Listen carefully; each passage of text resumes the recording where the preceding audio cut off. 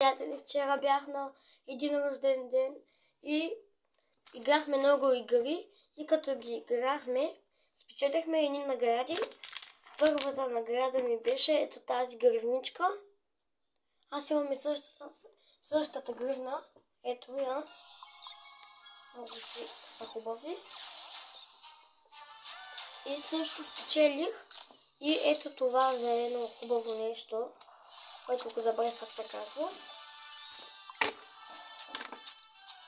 И спечелих ето такъв държател спечелих. И още едни такива мекички ръце.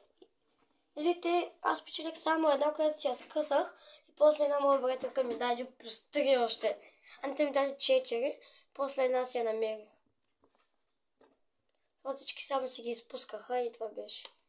И спечелих две червени, само че другите са мъсни, защото са ми...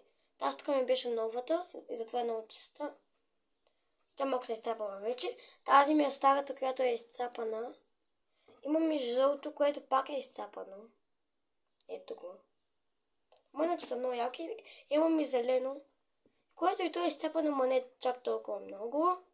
Така, ако ви е харесало видеото, абонирайте се за канала ми и ще направя ново видео днеска в не знам колко са.